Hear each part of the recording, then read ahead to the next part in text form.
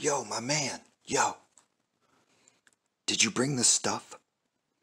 Chill, chill, chill, bro. I got you, man. I got the stuff right here, bro. You good? You um you got my payment? Um Yeah, yeah. I got your payment, bro. Boom, right here. Boom. I got them right here, bro. I got your payment.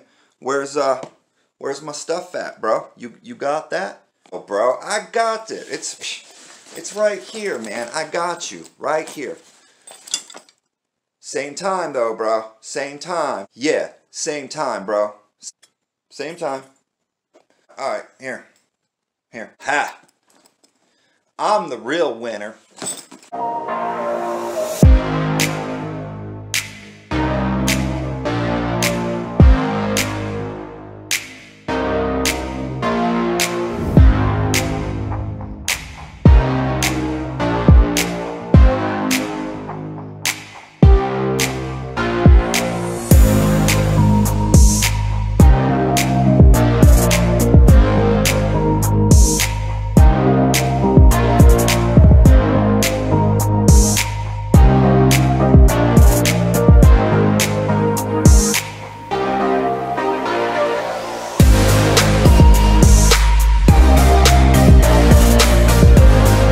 Up, guys? Welcome back.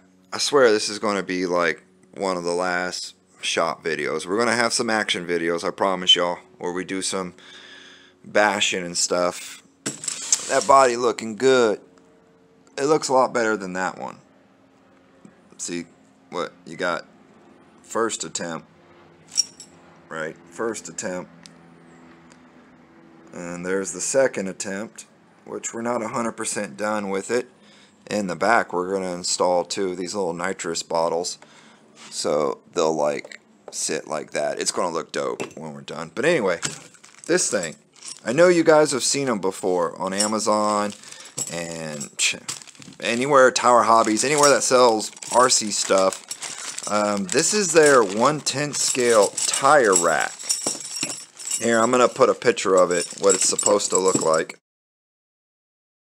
that's what it's supposed to look like um, when it's done. I know you guys seen these before. They're not very much money. They're like 15 bucks for them. But uh, I thought that I would put that together real quick.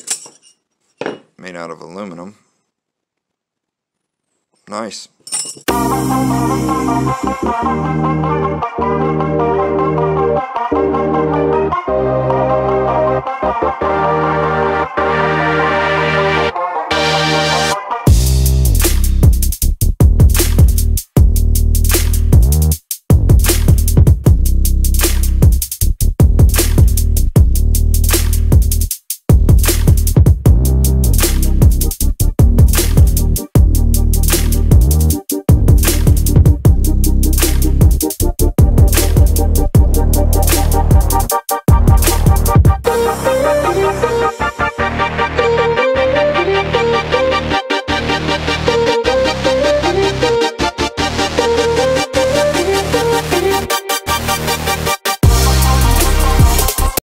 So there it is. Built. Done. It's a little small, I thought. I don't know. Here is a 10th scale tire. Yeah, it does do a nice job. Okay, here are some 1 10th scale grasshopper buggy tires. Okay. So let's see how those sit. Oh yeah, those does sit nice. What about underneath here? Oh, wait a minute. How? Oh, you see, I messed up.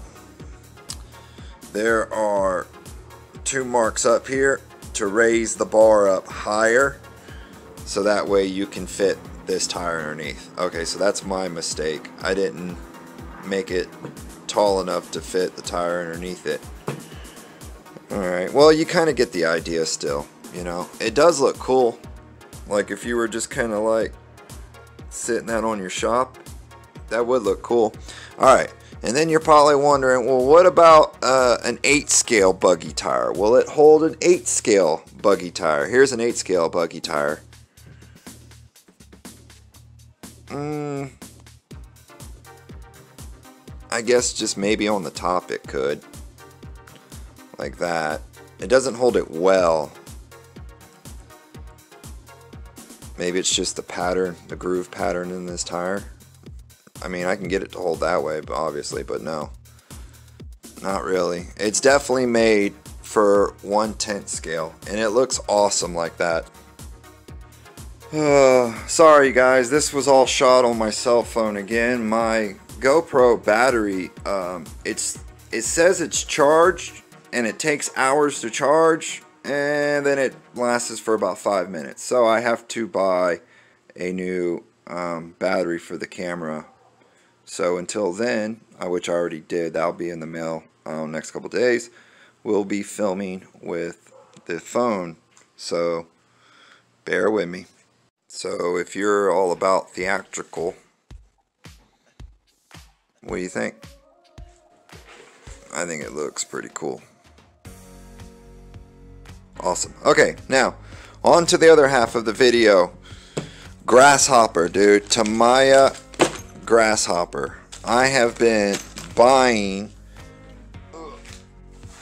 I've been buying upgraded parts for this thing left and right and the single most hardest part to find on the grasshopper are these side rails the I can find them in plastic but I couldn't find them in aluminum well I just so happened to pop on eBay one day and I found a guy that had a pair of these for sale.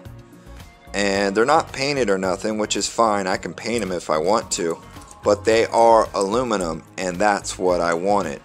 Uh, and I couldn't believe that that I actually found these. And he didn't want a lot of money for them either. He wanted like 20 bucks or uh, 40 bucks for them so upgrades upgrades upgrades. You gotta have upgrades for this sucker this is damn near every upgrade you can get for the Tamiya Grasshopper. I'm just waiting on like one more thing. Check this out. If you don't have a Tamiya Grasshopper, you're like, this probably won't mean nothing to you. But if you do have a Grasshopper, you'll appreciate all this stuff. Check this out. These are aluminum front arms for the Grasshopper by jaysrider.com. Right? These are sweet. Alright. Can't go wrong with that. And then this is the front arm brace, man. This is what holds the whole front end together. Normally this piece is plastic. It is now aluminum. Look at that for the Grasshopper Hornet. There you go, focus. There's the part number for it. And it's from Fast Tracks, fasttracksrc.com. Cool, right? Alright, moving on, moving on. Oh, aluminum. These are basically front spindles. Uh, the front spindles on the stock one are all plastic and cheap. So an aluminum upgrade is nice. And these were only like 12 bucks for these. I'm really surprised on how cheap um, aluminum parts for RC cars have gone down. Alright, so these is very important. Now, a typical like wheel to an RC car goes through that hex nut and then you put a nut on it and tighten it on to the car, right? Well, with the Grasshopper, it works a little bit differently. These things, see look, that's where your drive pin would go and then this would slide onto the axle. And then your wheel, which you would need a special wheel that locks in on that and I'm not sure if these would fit because I got the adapter kit for these. But anyway, this is for the stock, right? For the very stock version of the truck. And then those little blue things is our servo mounts. That's what actually holds the servo in place are those two little blue aluminum pieces, but usually they're plastic. But anyway, um, normally all this crap is plastic in the car. Well, I got it all aluminum. That's just in case I want to run originalness to it. Now speaking of that, here's the adapter kit for the Grasshopper. it allows you to get off of this system. See this proprietary system? It only lets you run one type of wheel because only one type of wheel fits in that locking groove. So you need an adapter kit. Uh, basically allows you to go to the standard hex style adaptation that everybody uses. And this is a full kit, comes with the pins and everything you need. It's for the front and for the back. It's a 12 millimeter hex lock hub for the Tamiya Grasshopper. That's pretty cool. And then shocks. Unfortunately, the shocks that I ordered, I didn't pay attention when I ordered them, so I got these instead of the blue ones that I wanted. But these are basically a duplicate of the original shocks that come in the Grasshopper, but they're all aluminum instead of being all plastic. It's a very unique design, um, especially that front shock right there. That's way different. That one right there looks like a normal shock, except for even on a 1 10th scale level, this is still a very tiny shock. I mean, it's my my finger is bigger than that shock almost. You know what I mean? So it's it's small shock comparison to 10 scale. Uh, I bought all this stuff like from China and it took forever to get this stuff here. This is very important. This is a locking collar sway bar kit and it also acts um, for your for your shocks. Your shocks mount on the back of this instead of on this cheap little cheesy plastic frame that the car has. You can put this aluminum kit on there and it's nice. Tamiya grasshopper stadia what is it? Stabilizer rod set yeah. Anyway i'm really excited about building this car. It's going to be a lot of fun. Um, i know this is kind of niche meaning that you know not everybody has a Tamiya grasshopper laying around but that's okay I'm gonna share it in all the Tamiya groups on Facebook and hopefully someone will appreciate it stuff to do I really like that 1 10th scale rack and all of this stuff. It looks amazing. I appreciate you guys. Thank you. Seriously. Thank you. Check out some of my other videos. Share me. I need you. No, I'm just saying. It's me.